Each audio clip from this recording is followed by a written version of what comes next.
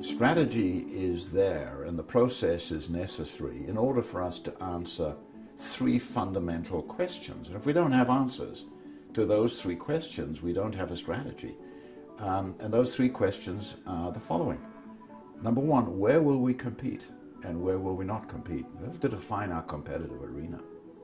Second question is within those chosen markets, how will we win the competition for value creation?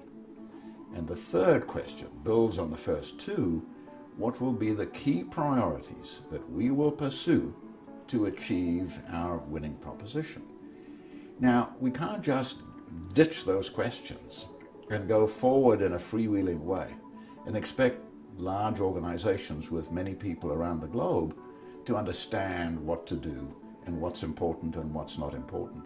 Now, I think what's happened in the much faster changing environment of today is we need to refresh the answers to those questions more frequently than we ever did before. And so that's the idea of strategic learning to constantly learn and reinvent as the environment shifts.